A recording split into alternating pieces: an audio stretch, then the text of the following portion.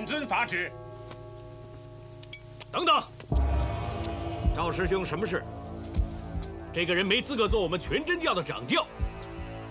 赵师兄何出此言？五位师尊一向明察秋毫，怎么把掌教之位传给这个丧德败行之人呢？张志进，你胡说什么？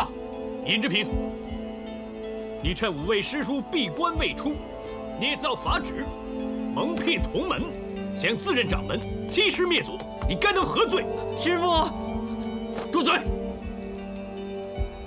尹志平，你有什么话可说？赵师兄，你误会了。事实摆在眼前，我怎么会误会呢？赵师兄，邱掌教的亲笔手谕在这里，难道你连邱掌教说的话也有所怀疑吗？亲笔手谕，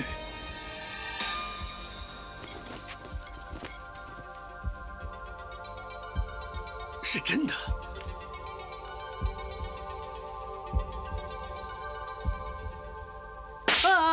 你明知道尹志平升任掌教之位是得到五位师尊批准的。怎么不早点告诉我，让我成为众人笑柄？我怎么下台？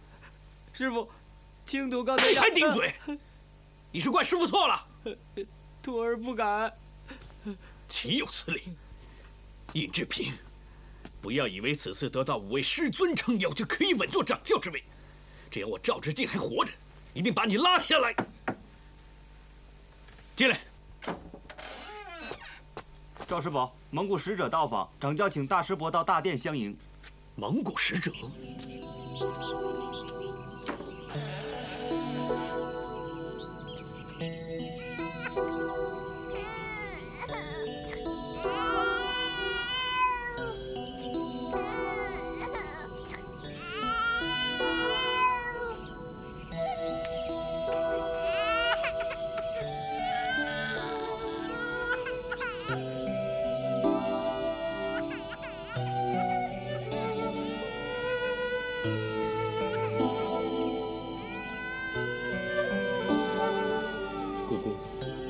你到底在哪儿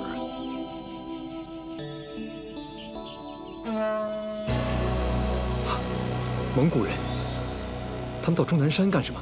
请全真教掌教接旨。蒙古大汗真的要册封我们全真教？哈哈哈哈哈！我们大汗的一番美意，尹掌教还不快点感谢我们大汗的恩典？贫道实在无德无能，不敢拜领大汗恩典，还请几位。尹掌教此言差矣。当今之事，天下既成为蒙古的天下，如今蒙古大汗看中你们全真教，还册封你们掌管天下玄门道场，此乃贵教之福。尹掌门又何必诸多推搪呢？不错，掌教师兄，蒙古大汗的一番美意，你何必拒人于千里之外呢？哎，赵师兄，你这样说就错了。如今宋蒙已成敌国。我们身为大宋的子民，又岂可乱受蒙古人的册封呢？我们出家之人，最重要是六根清净，又何必拘泥这种世俗小节呢？赵师兄，你既是出家之人，又何必如此热衷于名利，宁愿卑躬屈膝接受蒙古人的册封呢？你说什么？哎，两位师兄弟稍安勿躁。由于事出突然，请几位进内堂稍作歇息，让我们师兄弟商议过后再做答复。哈哈哈哈哈！好。以尹掌教的英明才智，应该有一个聪明的决定。喂，这笔买卖划得来啊！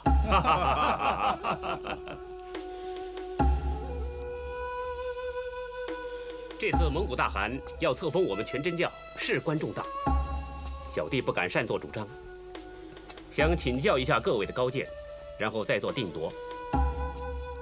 我们全真教日益壮大，甚至连蒙古大汗都亲自下旨册封。他们的一番美意，我们何必拒人于千里之外？对呀，赵师兄言之有理。如果我们今天接受蒙古的册封，日后我们就可以顺理成章成为天下的玄门正宗，何乐而不为呢？此事万万不能！蒙古入侵我国国土，残害我百姓，我们怎么能认贼作父，接受他们的册封呢？哎，知常师弟此言差矣。当年我们邱师伯接受蒙古大汗传召，风尘仆仆，远赴西域。掌门师弟也有随行，我们有潜力可言，如今又为何不可呢？但是当年蒙古尚未入侵我国国土，更与大宋结盟，正所谓此一时彼一时，形势有别。赵师兄，你岂能相提并论？说得对，如今蒙古大军南下，大宋江山岌岌可危。如果我们接受册封的话，又如何面对陷于水深火热之中的大宋同胞呢？水能载舟，也能覆舟。如果我们接受蒙古大汗的册封，说不定可以阻止蒙古大军滥杀无辜。当年丘师伯也为此事拯救了不少汉族人的性命，我们为什么不能效法呢？赵师兄说的对。再说，我们终南山在蒙古势力范围之内，如果拒绝册封的话，触怒了蒙古大汗，出兵围剿，到时候人命伤亡，谁能担当得起啊？我教中人个个不畏强权，立志救民于水火。纵然全真教真的会大难临头，又何足惧呢？混账！我们全真教几十年的基业，假如毁于我辈之手，试问我们在泉下有何颜面去见重阳祖师呢？全真教罪人这个罪名，谁能担当得起？没错，本教受封和拒封都事关重大。尹掌教，你要三思而行。哎，师弟，算了，清楚。我们不必再为这件事争吵了。掌教师弟，你一向聪明过人，我想这件事你应该早已经有决定了吧？小弟新任掌教，只知道要遵从重阳祖师以及几位师尊的教诲，不敢有违。但是当今蒙古大军杀我百姓，侵我河山，如果师祖在世的话，他会接风还是拒风呢？看来掌教师弟对于接受册封一事是坚决拒绝了。小弟罪孽深重。死不足惜，但是全真教的声誉绝对不能受损。当年天下英雄正结义共抵外辱，如果我们接受蒙古人的册封，有什么脸见他们呢？哎，哼！掌教师弟，既然你心意已决，我也无话可说。至于后事如何，请你再三考虑。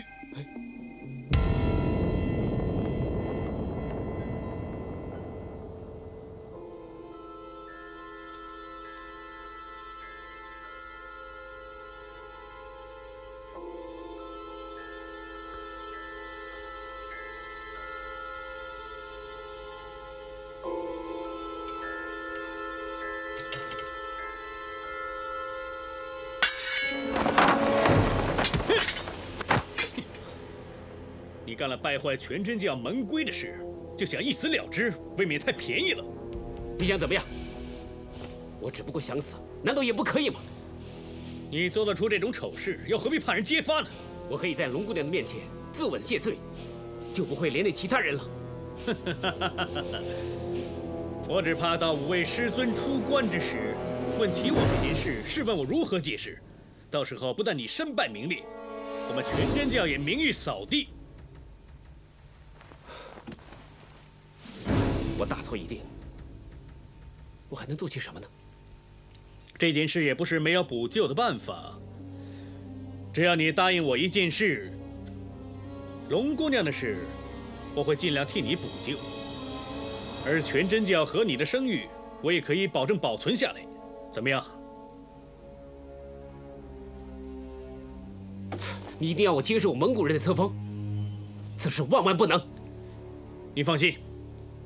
我不会强迫你接受蒙古人的册封的，你大可以放心。真的，好，只要不是这件事，我什么事都可以答应。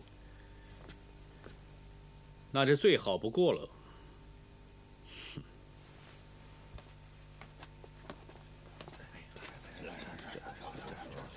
我急召大家来，是有件事向大家宣布。我奉邱真人之命接任全真教掌教之职，本来应该鞠躬尽瘁，死而后已。但是可惜，因为我突然患了重病，无法医治。如今掌教之职，我已无法胜任。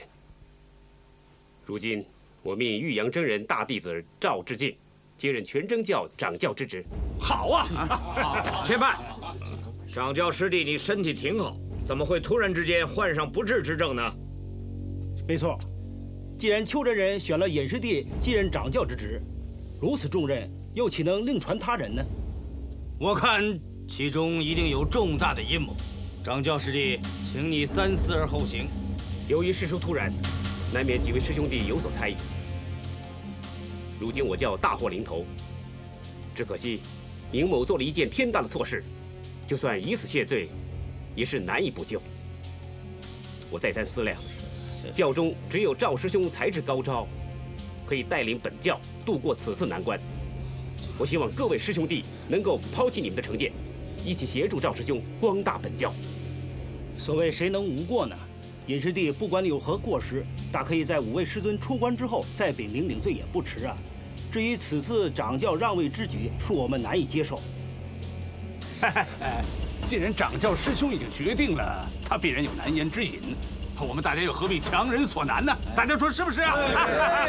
是志凡师兄说的不错，况且如今尹师兄依然是本门的掌教，他说的话，我们又岂可不从呢？对呀，绝对不可以！掌教之位怎么能轻易传给赵师兄？你们不要再争了。此次我退位让贤，是事出必行的。既然掌教师弟你坚持要让位，我们也无话可说。但是在同辈之中，论到才德兼备要胜过大师兄的，大有人在。比如李志长师兄道理深湛，崔志芳师兄处事干练，为何一定要让位给赵之敬师兄呢？你似乎还漏了一个人。他就是你自己，王志坦师弟。小弟不才，比起几位师兄实在相差太远。但是如果和赵师兄相比，只怕尚且稍胜一筹。起码我不像有些人那样，甘心沦为汉奸。你说谁是汉奸？说什么？啊，师叔，你侮辱家师到底目的何在？各位稍安勿躁。依本教的规矩，全真教的掌教是由上一任的掌教任命的，并非由同辈推举。大家应该很明白。总而言之，从现在开始。赵师兄就是全真教的掌教，大家不得有异议。呃，尹师弟，你，哎这哈哈哈哈哈哈！恭贺赵真人接任全真教掌教，哈哈哈哈哈哈！其实早就应该找个识时务的人来招呼我们了。嗯，关于册封事宜，未知几位商议结果如何呢？承蒙大汗厚爱，贫道感激不尽，还请大人回复大汗。贫道日后自当带领全真教上下为蒙古效忠。既然如此，请赵掌教接旨。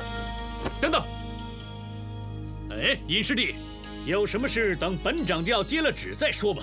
不行，赵志敬，你昨晚答应过我，绝对不会接受蒙古人的册封，我才把掌教之位传给你。如今你竟敢出尔反尔！哈哈哈哈哈哈！我是说过不会强迫你接受蒙古大汗的册封，但是现在接受册封的是我，又何来出尔反尔呢？你，赵志敬，你好卑鄙！啊！停！停！岂有此理！你们以下犯上，挟持掌教，该当何罪？哼！全真教以忠义立教，赵志敬你欺师灭祖，投靠蒙古，早已天地共托，根本没有资格做我们的掌教。你们，从现在开始。就由尹师弟重新接任掌教之职。没错，请尹师兄以大局为重。好，那我尹志平只好当仁不让了。如今之事，汉蒙势不两立，全真教乃是大宋子孙，怎么能受蒙古的册封？你们回去吧。没错，将来如果有缘在战场相见，我们再做周旋。何必要等到战场相见呢？现在我就想领教一下全真教的绝学。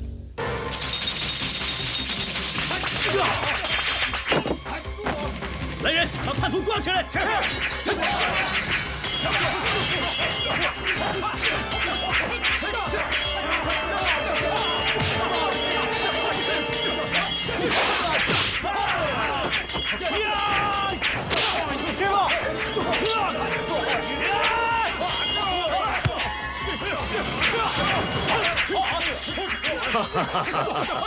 喂，小娘子，现在全真教内讧，你说我们应该帮哪边呢？既然赵掌教已经接了大汗的谕旨，我们当然要帮助他清理污秽。好，那这笔买卖我们就成交了。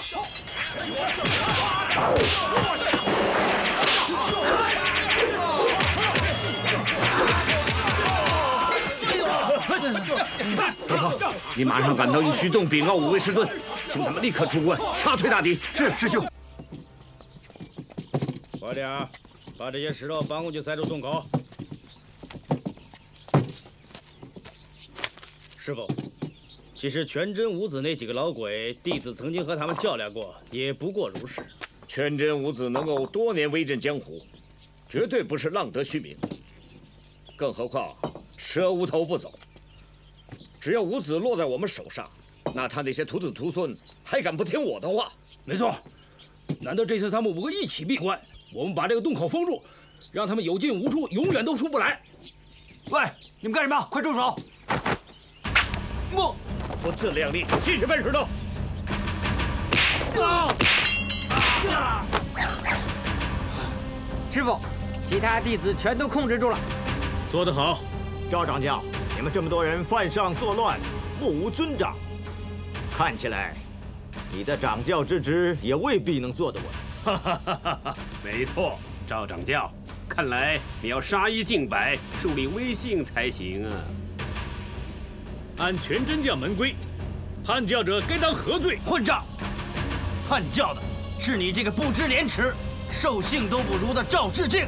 一向叛教之人，皆要在三清向前处死。听到没有？现在我给你们最后的机会，有悔意的站出来，我可以饶他不死。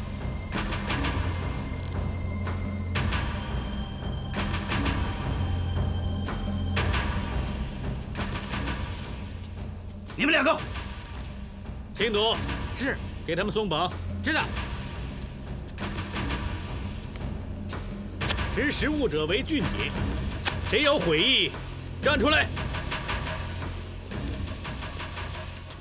你们一个个怎么都这么没骨气？人各有志，王师弟，你不必生气。你们几个这么有骨气是吗？那就不要怪我不念同门之情了。青土在。立刻执行门规交易。是。青土，你，你敢？要杀就杀！你这个叛徒，他日必遭天谴！青土，你还站在那儿干什么？还不杀？是。嗯。青土，王师弟，王师弟，师弟，王师弟，师弟，师弟，王师弟，赵师弟，你将来一定不得好死！你这个叛徒，青土，是，给我杀了他！是。你，哎，这个人让我杀。龙姑娘，你这个贱人，又来捣乱！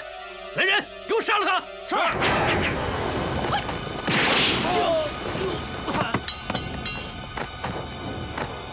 哈哈哈哈哈哈！龙姑娘，一段时间不见，你的武功又增进百倍，真是可喜可贺！哈哈哈哈哈！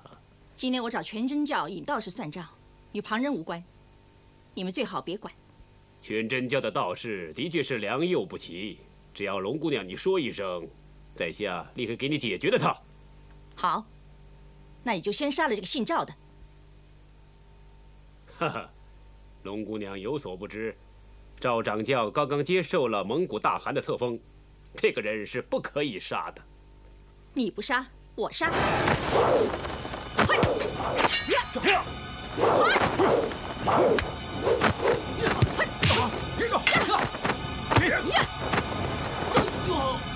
姓赵的，今天你的死期到了。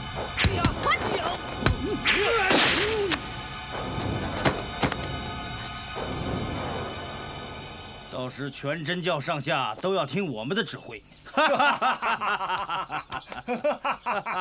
法王，救我！小龙女，法王，这次无论如何也要救贫道。有老衲在这儿，绝对没有任何人敢伤你分毫。谢谢法王。哼，小龙女，我们又见面了。我要杀的人是他，大师，请你让开。赵道长是老衲的好朋友，我绝对不会见死不救。难道你不怕我的双剑合璧吗？哈哈哈哈哈！大王，这个妖女的双剑合璧很厉害的，你还是小心点好。哈哈哈哈！我会怕她？小龙女，你尽管使出你的双剑合璧吧。呀！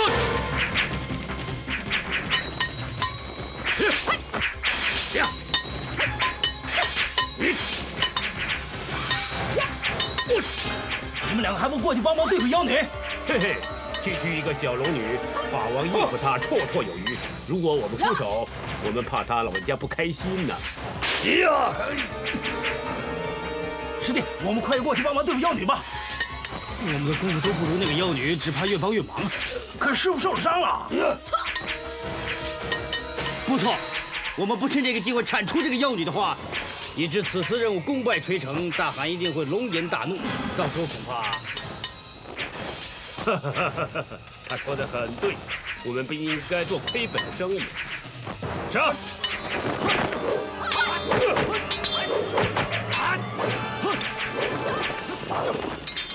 赵志敬，你这个叛徒，我今天不杀你誓不为人。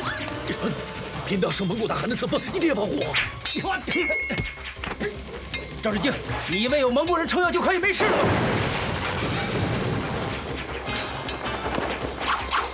师傅，谁这么大胆封住洞口？想不到世界上竟有如此出神入化的剑法。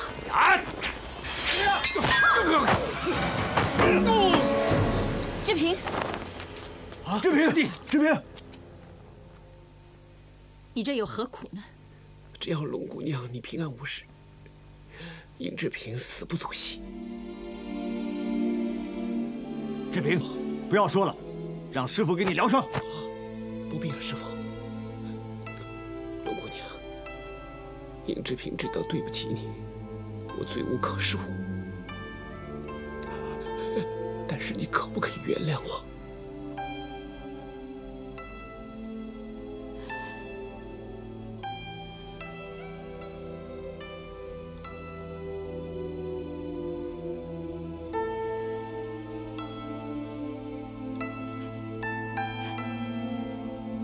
我怎么原谅你？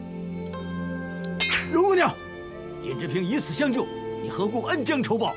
师傅，是我对不起龙姑娘。徒儿应该。志平，志平，我要杀他，与你何干？龙姑娘，他们打起来了，我们怎么办？就让他们自相残杀，然后呢，我们就再慢慢的收拾残局也来得及。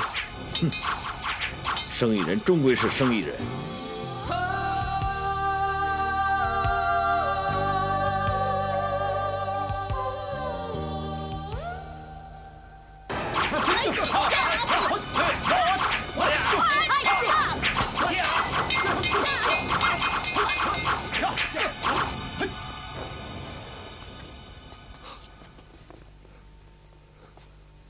到底发生什么事了？哈哈哈哈哈！看来这次非要老衲出手，助你们全真教一臂之力才行啊！金轮法王，我们不用你帮忙。哼，大家共同对敌，又何必分彼此呢？姑姑。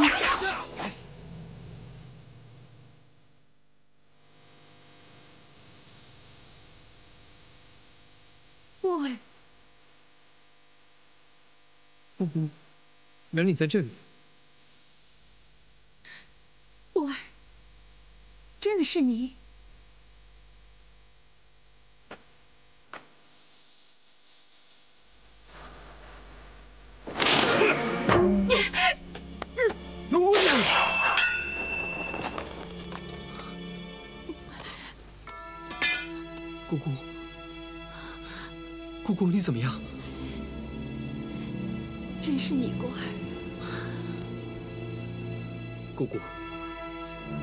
对不起你，过儿来迟了，害得姑姑你身受重伤。你来的正好，姑姑以为今生今世再也见不到你了。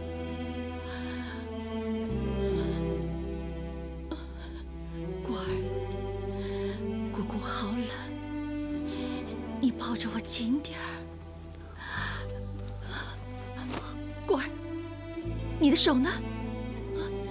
我的手被人砍断了。是谁？谁砍断过儿的手？这件事等会儿再说吧，让过儿先给你运功疗伤。来。不行，你先告诉姑姑，到底是谁这么狠心？是郭福砍断我的手的。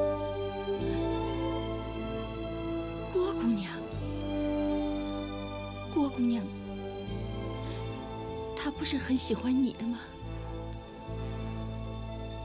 今儿在过儿心目中，只有姑姑你一个。只要我能够和姑姑在一起，有左手和没有左手有什么分别呢？我有一只手，一样可以抱着姑姑你。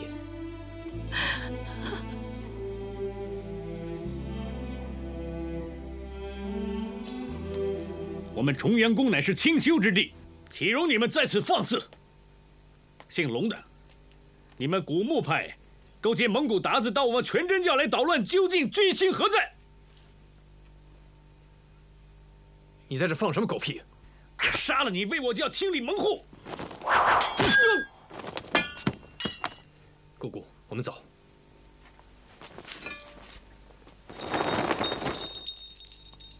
你们又想干什么？没什么，我们久别重逢，想请杨兄弟一块儿回去聊聊天儿。我和你们没什么聊的，走开！你这臭小子，敬酒不吃吃罚酒啊！嘿！哎呀！哈哈哈哈哈！杨过，恭喜你的武功又更上一层楼了。好，我今天就和你们算一算，刚才你暗算我姑姑的那笔账。过儿，你把我扶开，否则你未必是他的对手。姑姑，要生一块生，要死我们就一块死。今天我和你力战群魔，人生至此，夫复何求？哼，老衲真不相信你的武功会这么厉害！你呀！我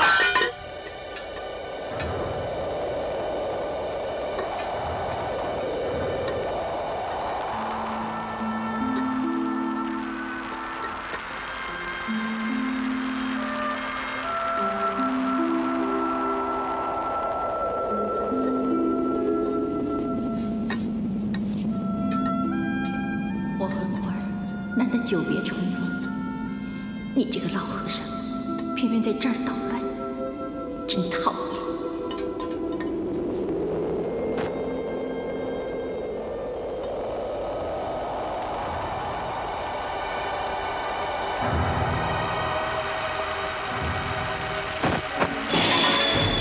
师傅，师傅，师傅你怎么样？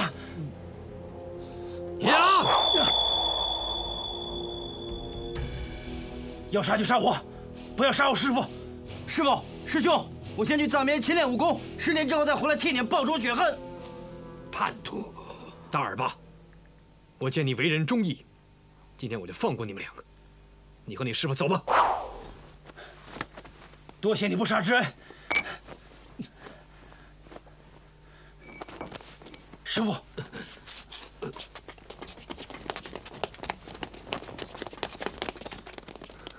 姑姑，你怎么样？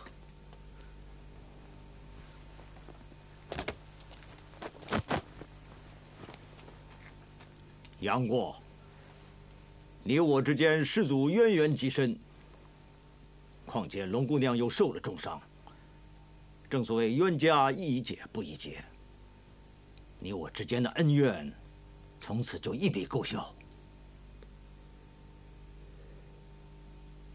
姑姑。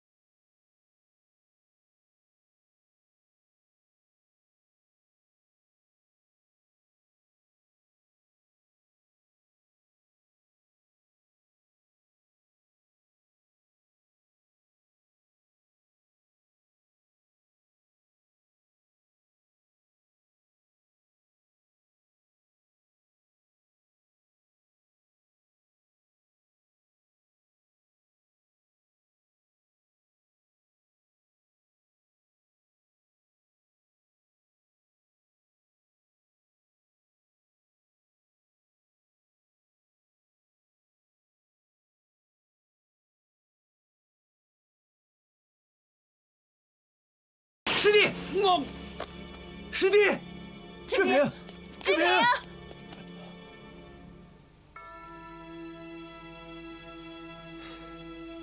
姑姑，我们走。过儿，我能在死之前见到你，我真高兴。我只怕姑姑死后，过儿你孤苦伶仃，没人陪伴。姑姑，什么仕途名分，什么名节清规，一概都是狗屁不通。总之我不管，从今天起，你再不是我师傅，也不是我姑姑。我要你做我杨过的妻子。过儿，姑姑，在这个世上，除了你之外，根本就没有人真心真意的对我。故而要和姑姑你，一生一世都在一起，长相厮守，永不分离。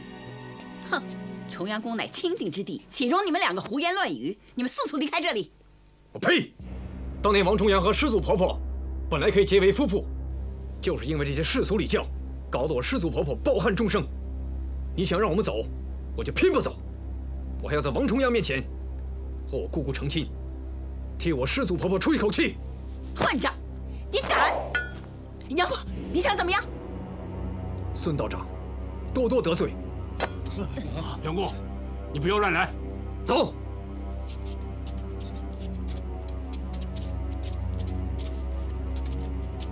如果有人敢踏进王重阳后殿一步的话，休怪我对孙道长不利。你想怎么样？跟我进去就知道了。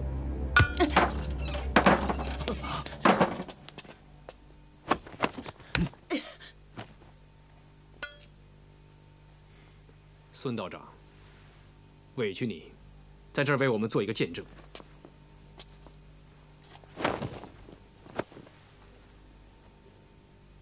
天地为证，弟子杨过与龙氏今天在重阳真人面前结为夫妇。过儿，龙儿，我们就在这里拜堂成亲。过儿，我。龙儿，你怎么了？你不喜欢？不是，如今我已经不是清白之身，而且身受重伤，命不久矣。过儿，你何必对我这么好呢？龙儿，事到如今，难道难道你还不明白我的心意吗？如果上天能够让我们多活一天，我们就多做一天夫妇；能够多活一个时辰，我们就多做一个时辰的夫妇。只要我们能够成亲。不管时间长也好，短也好，我已经心满意足了。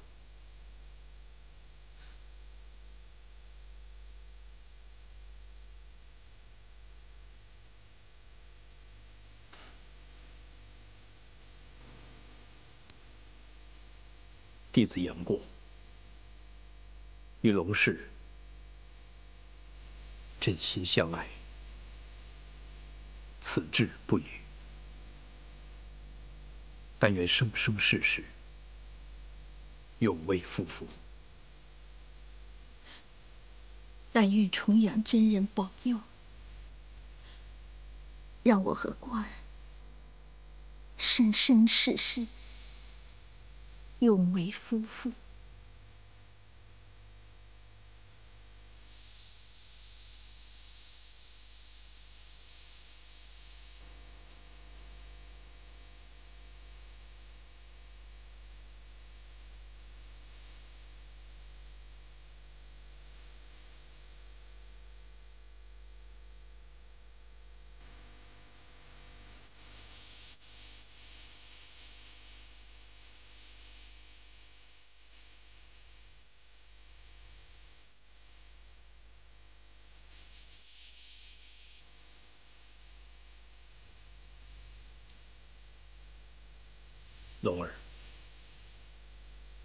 我们也算是天生的一对。我是全真教的叛教弟子，而你也违反了姑姑派的门规。世祖婆婆不让我们收男弟子，更加不许我们嫁人，我偏偏一再破戒。看来我们之所以劫难重重，的确是罪有应得。哼，破戒又怎么样？当年世祖婆婆。他的重阳真人武功比我们两个不知好多少倍，但是他们却偏偏不敢破戒成亲，以至于遗恨终生。我想他们两位泉下有知，一定会羡慕我们。果儿能和你成亲，即使……我们立刻死去，我也心甘情愿。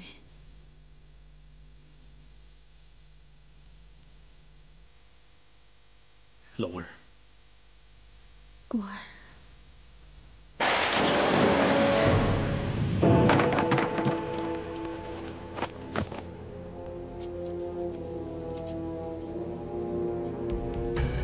今天是我和龙儿成亲的大好日子。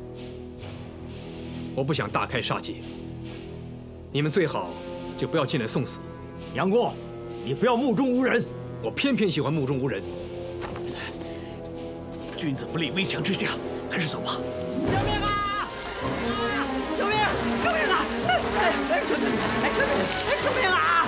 救命啊！他！救命啊！哎呀！救命！哎！哦哦！哎！救命！哎！救命啊！哎！救命啊！哎呦！周师傅，胳膊疼！救命啊！哎呀！哎！救命！救命！救命啊！好多地方！救命啊！哎！救命！救命！哎！哎！救命啊！哎！啊！啊！哎！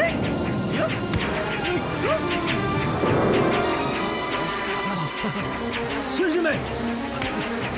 什么事？拿火把来！杨过、杨过他们呢？跑了。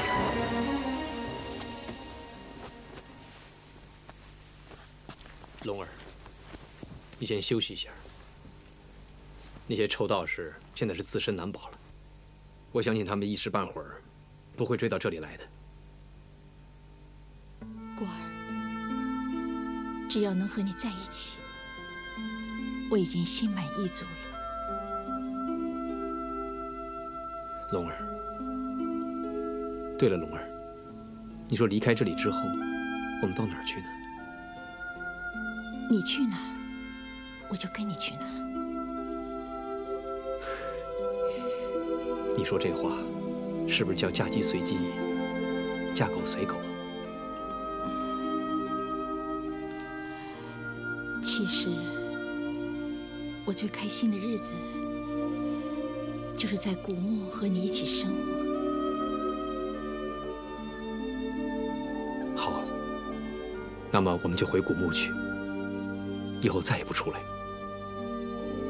我的伤很重，根本就不能再潜水回古墓了。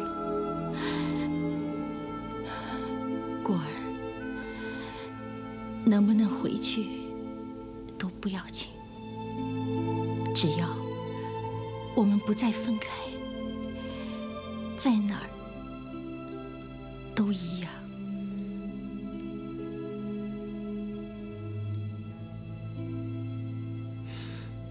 这个是你成为我妻子的第一个心愿。如果我这个都办不到的话，我根本没有资格做你的丈夫。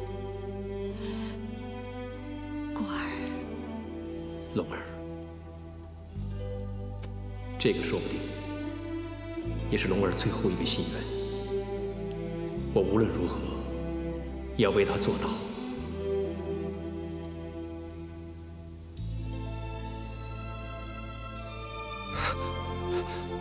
龙儿，我有办法了。扶大师去疗伤。是。来，快点。启禀邱师伯，蜜蜂已经全部驱散。但是有好多弟子被蜜蜂蛰伤了。立刻派人去丹药房取药疗伤。是，知道。快点，给我站住！什么事？赵志敬，你们想怎么样？哎，到底什么事啊？周师叔在钟里面呢。啊！师叔，师叔出来吧！师叔，出来！你们想害我呀？我知道我一出来就被蜜蜂蛰成大花脸了。哎呀，周师叔啊，你出来吧！我们已经用火把蜜蜂都赶走了，没事了。我死也不出来！哼！你以为我不知道啊？你们想把我哄出来，然后你们进来。师兄，顶起来！嘿！